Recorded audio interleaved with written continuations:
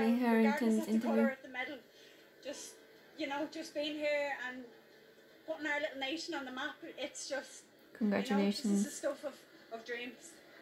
Like, share, and subscribe to this channel. In victory, she displayed all the class that has made her a Thanks for watching. favourite. You can add that of Kellie Harrington. Congratulations on a brilliant match. Gold. Kellie Harrington.